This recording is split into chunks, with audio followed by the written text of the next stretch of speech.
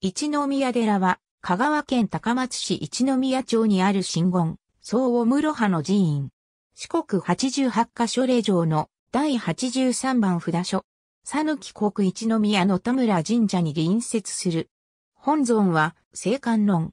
自伝によれば、義援により、宝生宗の寺院として、大宝年間に建立され、年号にちなみ大宝院と称したと伝えられる。そして、和道年間、諸国に一宮が制定された際、佐抜一宮、田村神社の第一別当として行基が道具を改修し、一宮寺と改めたという。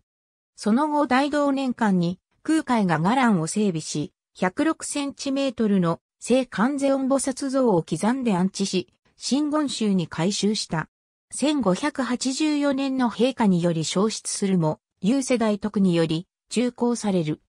延宝7年に、時の高松藩主である松平頼常によって田村神社が、両部神道から唯一神道に改められたため当時以外に中にあったと言われる宮寺は廃止される。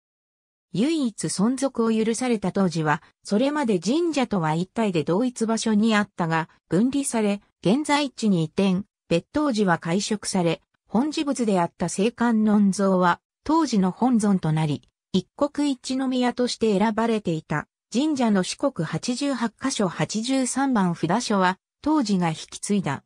明治初期の神仏分離より200年も早く神仏の分離が行われ現在に至る。